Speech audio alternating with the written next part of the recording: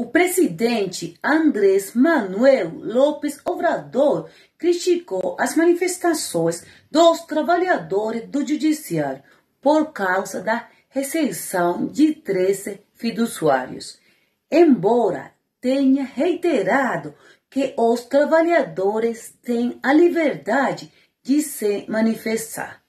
Ele disse que é vergonhoso que eles estejam defendendo os privilégios de funcionários de alto escalão.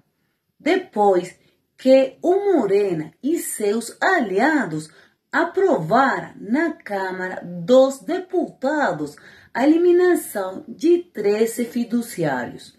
López Obrador pediu aos advogados do país que analisassem se a ordem constitucional seria quebrada diante um recurso de inconstitucionalidade que poderia ser apresentado por legisladores da oposição, uma vez que seria resolvido pelo próprio judiciário.